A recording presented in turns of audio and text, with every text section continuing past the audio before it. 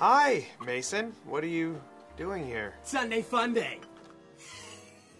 I was in the neighborhood. Just thought I'd stop by and see my friend. That's you. I wasn't really expecting company. I'm kind of watching something right now. I'd watch anything with you. Oh, I don't know if you'd like it. It's a documentary about whale factories and the children who run them. Sounds intense. Let's do it. But see, the thing is, I'm, I feel I'm feeling kind of sick. So I got you, bro. Decongestant, antiseptic, antibiotic. Well, I mean, I don't want to get you sick. No problemos, John Stamos. Immunization. See, I'm, I'm real tired though. Like I've just been lying in bed. Dude, I rule at beds. Let's snuggle up, bro. Oh man, I just remembered I have to do my taxes. Done. My grandmother died. I brought my own.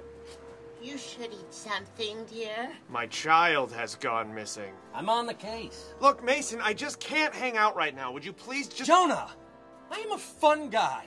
I'm a fun guy ready for fun times with his fun and only friend. Now drink this beer with me and be fun.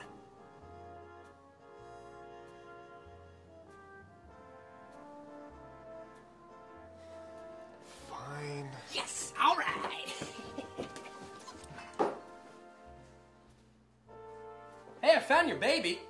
Mason, whose baby is that? Done.